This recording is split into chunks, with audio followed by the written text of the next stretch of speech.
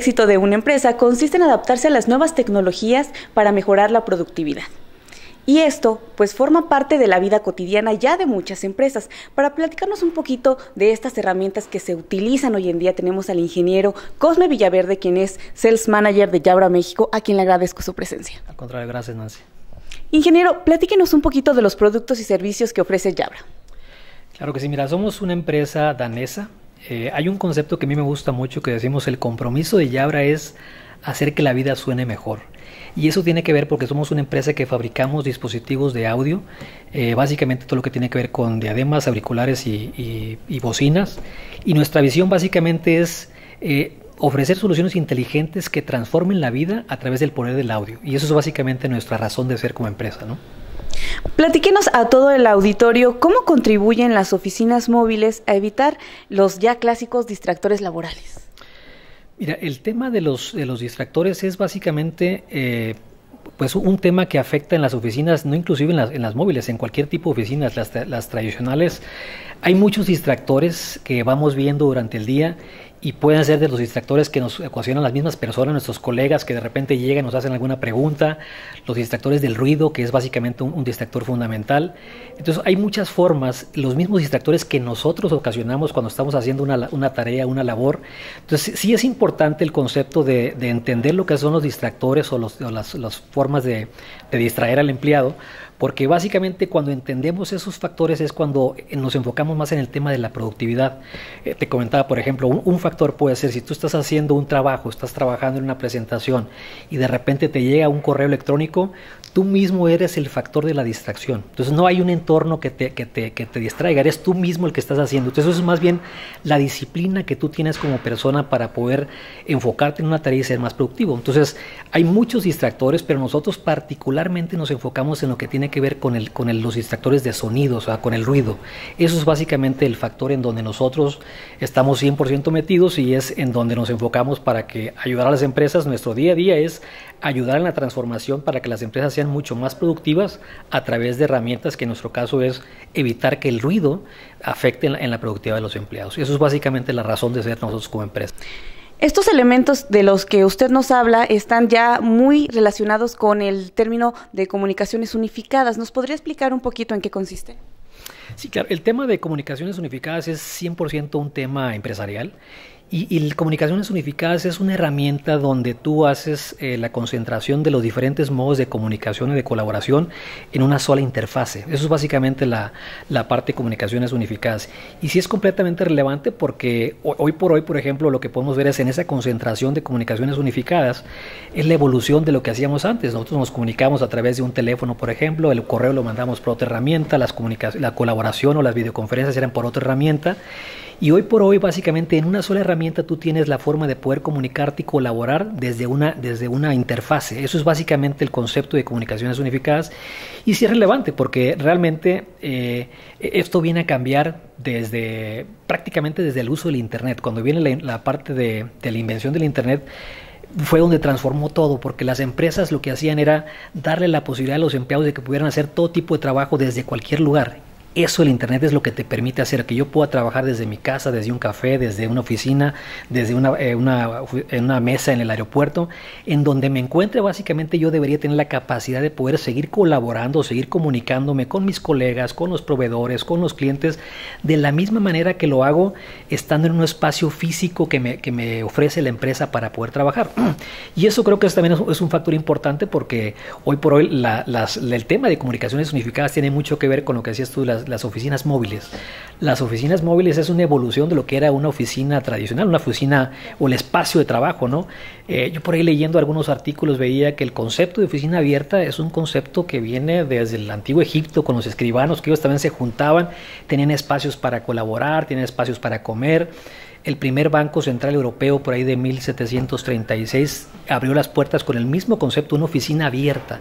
Entonces, son conceptos que han venido evolucionando para colaborar y comunicarse, pero el parteaguas principal fue cuando viene primeramente la electricidad y posteriormente la parte de Internet, que eso hace que ahora sigamos colaborando, sigamos eh, comunicándonos de una manera muy diferente que es en cualquier lugar, en cualquier momento, y hay herramientas pues, para que las personas puedan ser mucho más productivas usando las herramientas de comunicaciones unificadas. ¿Por qué es importante invertir en este tipo de tecnología?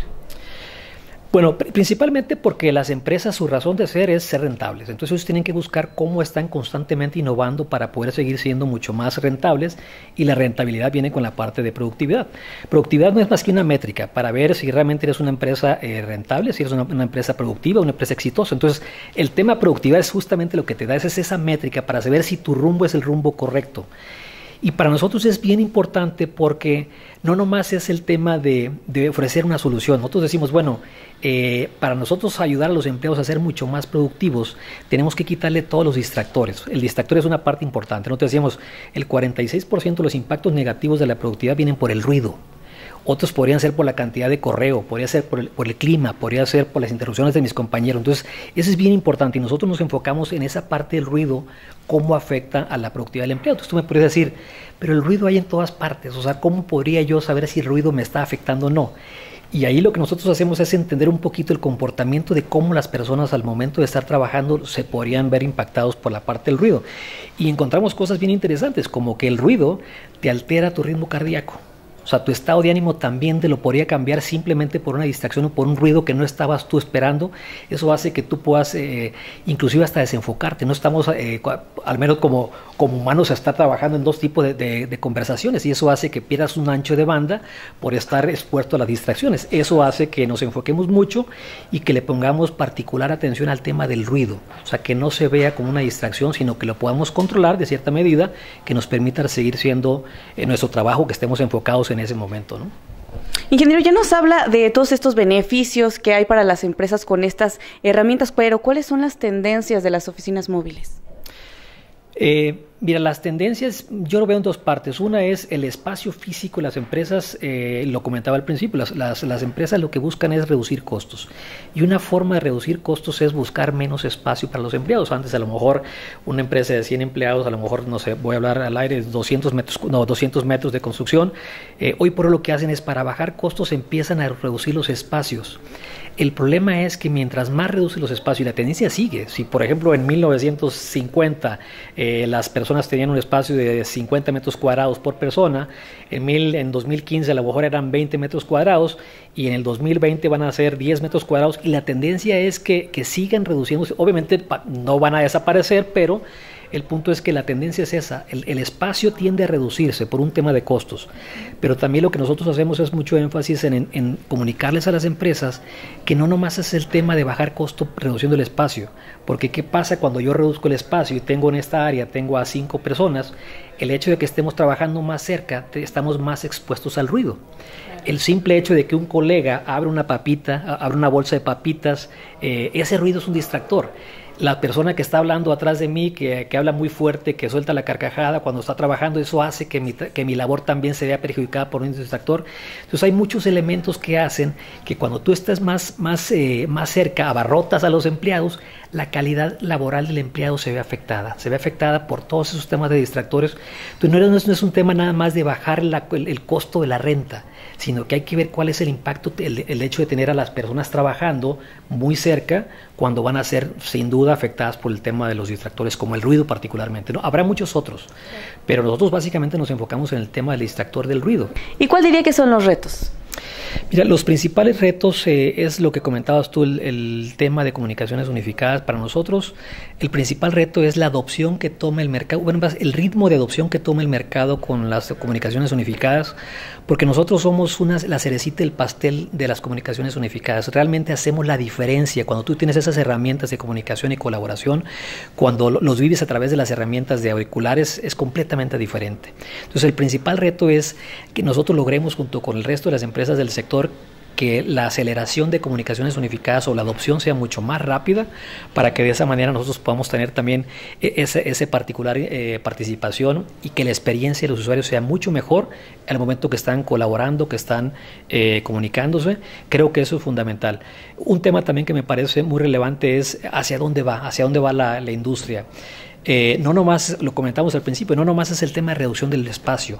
Hoy por hoy en las empresas lo que están haciendo es crear ambientes de trabajo en base a la tarea.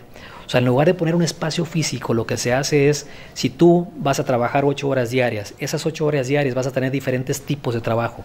Unos son de colaboración, unos son de comunicación, unos son de concentración, unos son de, de, de, de colaboración o de comunicación, perdón. Entonces, básicamente lo que tú tienes que hacer es que esos eh, áreas de trabajo tienen que estar hechos en base al tipo de, enfoque que tú tengas.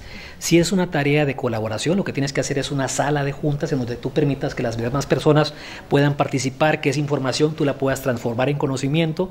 Si es una tarea en donde tú te tienes que concentrar, pues tienes que darle el espacio en donde la persona puede estar eh, metida 100% en su tarea y que evite los distractores. A lo mejor es un espacio muy reducido, pero de una oficina tipo privada. Entonces, eso es lo que se tiene que ver. Eh, aislar, por ejemplo, los distractores que se pueden hacer. Tú puedes hacer, por ejemplo, que la cocina, que la parte de las máquinas de los refrigeradores estén en cierta manera lo más aislado posible de las áreas de trabajo de las personas. ¿Para qué? Para evitar ese tipo de distracciones. Cuando las gentes va a las cafeterías o, al comedor, pues eso, eso eh, incita a la plática, incita a la conversación y eso tú tienes que hacer que eso no te afecte en tu labor, por eso tenemos que hacer los que sean espacios específicamente para la tarea y justamente dices, bueno, pero hacer ese tipo de adecuación de las empresas es costoso. Sin duda es costoso, pero justamente es donde hace mucho sentido Yabra, porque lo que hacemos es, en lugar de hacer toda esa inversión de esos espacios, y lo que te doy es con un dispositivo, envuelvo todos esos tipos de, necesidades. La parte de la concentración, de la comunicación, de la, de de la comunicación y de la, de la, concentración, lo hago a través de un dispositivo. El dispositivo básicamente, eh, yo un ejemplo que pongo regularmente platicando con clientes, es si tú tienes un espacio abierto de oficinas y todas las personas son 50 personas y tú quieres ver quién está ocupado, levantas la vista y tú vas a ver cuántas personas están en el auricular. Y tú de las 50, 20 están hablando por teléfono. Eso nosotros lo podemos simular con las diademas. Si yo les quito el teléfono, tú puedes decir, ¿cómo voy a saber yo que de esas 50 personas 20 están hablando por teléfono? Tenemos un concepto que se llama el de VC Light y el VC Light que es la luz ocupada, lo que me hace es eso. O sea, el dispositivo está conectado a través de las comunicaciones unificadas para que cada vez que yo haga una llamada, el dispositivo se prende un foquito rojo. Y ese foquito rojo lo que le está diciendo al resto de mis compañeros o al resto de las personas que están en mi entorno es de que estoy ocupado.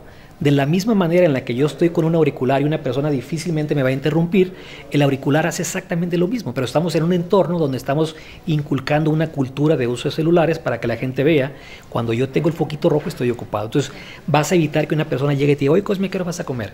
Entonces ese tipo de cosas lo hacemos simulando lo mismo que pasa, pero entendiendo completamente el entorno productivo de las personas. Y eso hace que un dispositivo eh, sea realmente rentable cuando tú haces la inversión del dispositivo a cambio de hacer todo el blindaje de la oficina para evitar los ruidos eh, o, inversiones mucho más específicas de las salas de colaboración o salas de conversación, salas de concentración. Eso lo podemos simular con las mismas diademas, que es relativamente una inversión pequeña, pero te va a cambiar completamente el resultado en la productividad de la empresa, que es lo que están buscando hoy en día las empresas. Muy bien. Pues muchísimas gracias al ingeniero Cosme Villaverde, quien es Sales Manager de eh, Yabra México y quien agradecemos este tiempo de entrevista. Muchas gracias, Nancy.